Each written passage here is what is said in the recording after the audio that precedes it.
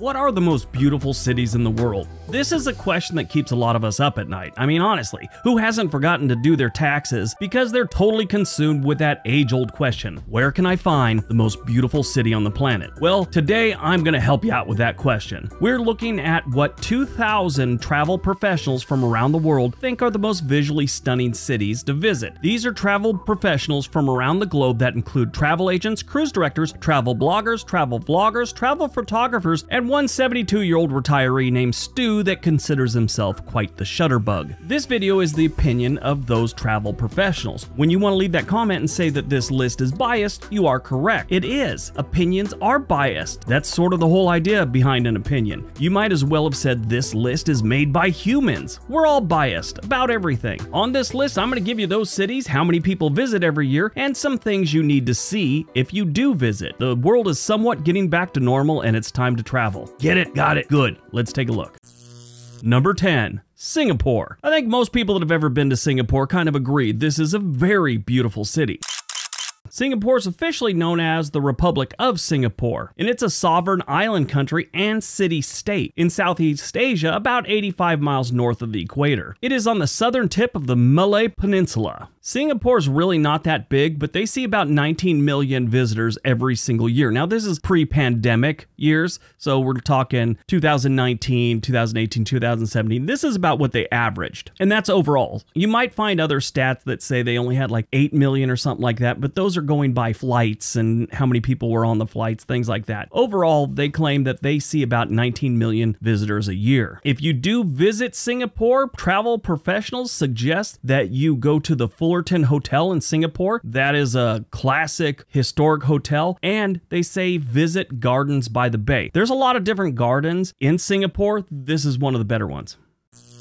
Number 9. Lisbon, Portugal. Lisbon is the capital and the largest city in Portugal, with an estimated population of about 550,000 residents. Now, the whole metro area around there has almost 3 million, but they got about 550,000. I've always felt that Portugal's sort of an overlooked European country. You always hear about France, Italy, Germany, the UK, Spain. You even hear more about Switzerland and the Netherlands than you do about Portugal, even though it's a very welcoming, historic, and beautiful country.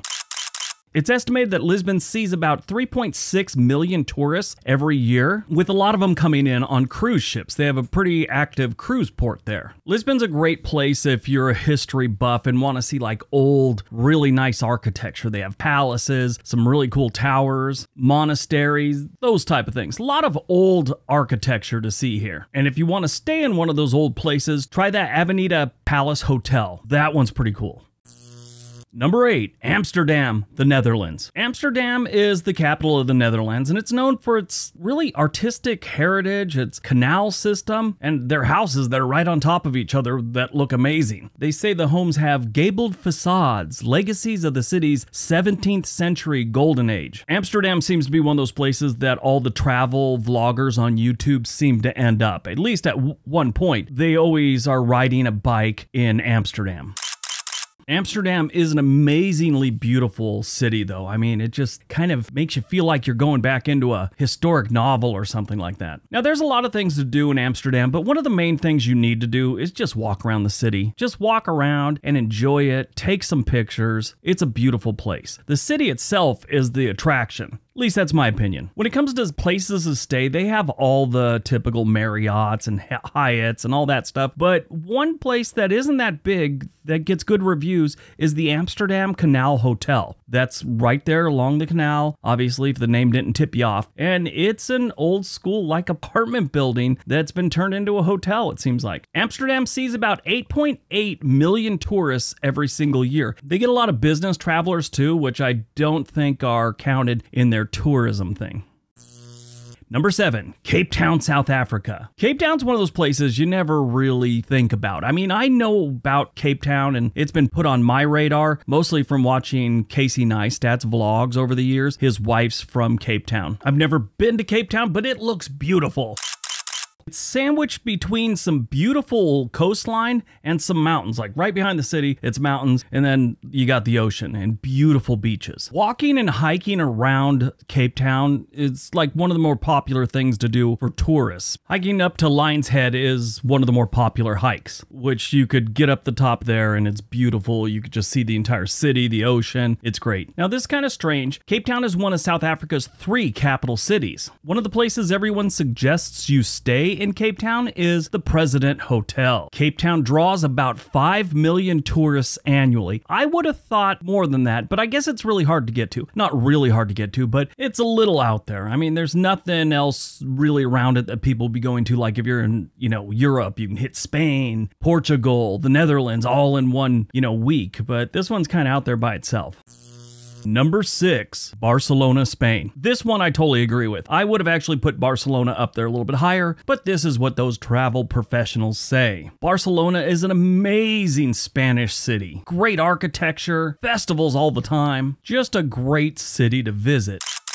This is another place that is big when it comes to architecture. If you want to see old historic buildings, just beautiful churches, go to Barcelona. It's also a great place if you like to drink wine. It's also right there in the Mediterranean, so there's plenty to do in the water. Barcelona is also another hot spot for cruise ships to come cruising through. Matter of fact, one of the best hotels to stay at is it's not one of the historic ones. They've got a lot of historic old buildings that have hotels and stuff, but one that's highly rated and a lot of people like to stay in is Eurostar Star's Grand Marina. You could stay there and wait for your cruise ship to come in. Barcelona sees more than 27 million visitors a year. Now, I'll remind you, this is 2019 and you know before. It's been a little bit sparse lately in most of these places. For example in 2021 barcelona saw less than 5 million tourists and in 2020 they saw a little over 3 million. There are organizations that say that they only see about 15 million a year but their tourism board says they see about 20 million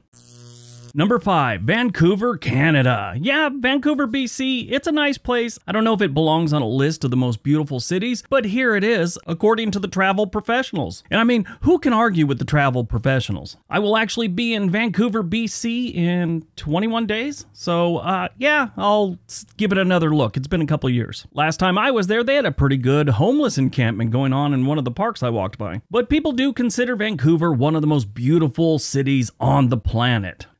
This is another one that's really big with cruise ships. And if it's a beautiful city, normally it's attracting cruise ships. Cruise ships are most of the time filled with a lot of older people. A lot of older people don't want to go to theme parks, stuff like that. They want to see beautiful cities. They want to explore the world. And this is why they get cruises. From my personal experience, I've stayed in like four different hotels there. And one of the higher rated ones is the Rosewood Hotel, which is down by the cruise port. I've stayed at that one. It's a nice hotel. It's really nice. There's a lot to do in Vancouver, just like any major city. There's all kinds of tours you could take that'll take you on hikes out in the mountains around Vancouver. You could also go whale watching, which is pretty cool. I grew up in a town where whale watching was a big thing, but we just saw the migration of like the blue whales. In Vancouver, you can go out and see like orca, stuff like that. They also have a ton of really cool gardens. That's one of their main attractions. Vancouver sees about 20 million tourists annually. Number four, Venice, Italy. Yes, no list of beautiful cities would be complete without Venice. You know, one other major Italian city that's not on here, I really thought we'd see Rome, but then I started thinking about it. Rome is more of a historic city and less of a beautiful city. It is beautiful, but when you're talking the top 10, eh, they're a little on the outside of that. Historic, though, they're probably number one. Interesting thing about Venice, because the pandemic and less people and less cruise ships and less everything, uh, a lot of the sea life came back to the canals and stuff like that and the water was clear i'm sure it's going to go back to its same murkiness that it's been for you know the last 40 years but that was kind of an interesting thing fewer people made the water clear. I think that's amazing. Sightseeing and walking around the city, taking gondola rides, that's what you do in Venice. There's plenty of things to do, but most people just go there to take it in, eat some food, see how beautiful this city is, take some tours walking around the city. It's an amazing city my son, who's editing this video, uh, he spent a lot of time there. He was stationed in Italy, and Venice was like, I think, two hours away from him. I just looked it up. It's a little over an hour away. Venice sees about 20 million tourists annually. In 2020, Venice saw about 900,000 tourists. That's it. 20 million to 900,000. 2021 they moved up to 1.5 million, but they were, you know, far off from their 20 million. We'll see what 2022 and 2023 brings them. One of the best places to stay is Al Teatro Palace. Number three, London, England, United Kingdom. Everybody knows London and everybody knows that it's a historic and beautiful city. Now, it does have some areas you probably don't want to be in, and that's with every city on the planet. Any place there's human beings or alligators or crocodiles, there's a potential for some danger. London's no different. London is a beautiful and historic city, and a lot of people visit there every single year. You can go see Buckingham Palace, Hyde Park, Kensington Palace, Big Ben, the London Eye, you gotta see St. Paul's Cathedral. While in London, make sure you ask a local where the Thames River is, and then stand there and wait for them to correct you. It's actually pronounced Thames, and it's the River Thames, not Thames River or Thames River. Back in the day, this is how everyone got around London. I mean, on personal boats, on water taxis, whatever they had, this is how people got around London, this river. It goes all the way through the middle of town, or the city. London normally sees about 30 million visitors a year. In 2021, they saw saw about 2.5 million visitors. If you're looking for a good place to stay, check out the Sea Containers Hotel. That's an interesting place. Number two, New York City. Yeah, that's a little strange. I didn't expect to see New York City on this. I mean, it is one of the most traveled two cities on the planet. Got tons of things to do, tons of things to see. I just never thought it was that beautiful. I mean, it's a nice city, like every place, like I just said about London, it's got some areas you gotta stay out of, but overall, New York City is a decent place. I just don't know if I would consider it one of the most beautiful cities on the planet, especially number two. What do you think? Now, this obviously is only going off major cities, and I'm sure you could find some smaller cities in the United States, like I think Charleston, South Carolina is probably one of them. A lot of small cities up in New England that are even more beautiful, but this is obviously going on major cities. And only a major city can pull in tourist numbers like New York City can. 66.6 million visitors annually. That's what they average. In 2020, that number dropped down to 22 million. But 66 million people is a lot of people to come to a city, no matter how big it is. Obviously, if you're going to go to New York City, you gotta go see Times Square. That's like the biggest draw. Of course, you're going to go see the Statue of Liberty, which is technically technically in New Jersey. There's some interesting ins and outs of that whole thing.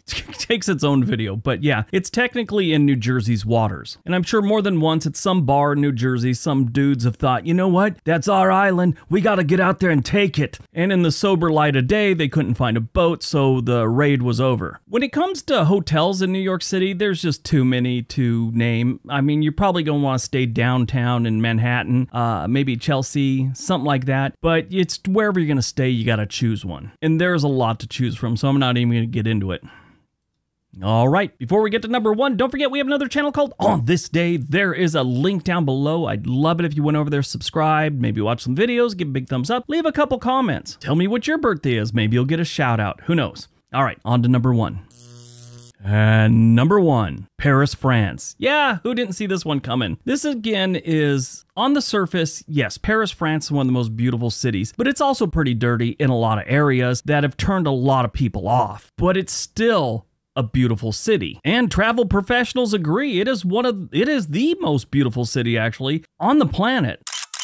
Paris sees about 19 million tourists every single year. Now, I did a little deeper digging into that one because that seemed kind of low, and I did see some reports that claim they see closer to 30 million on a normal year. Now, they took it pretty hard in 2021. They only saw about 12 million, and I saw another report that said it was closer to 5 million. So I'm not sure about their numbers, but it's still considered one of the most beautiful cities on the planet. If you've ever been to Paris, you're probably going to say, nah, it's a little dirty. I guarantee someone's going to say that in the comment section, and it's still beautiful though, and historic. This is another one where I don't feel comfortable telling you where the best hotel is. That's up to you depending on what you want to see and what you want to do. I mean, it's kind of central to everything. Go see Eiffel Tower, the Louvre, tons of museums, palaces.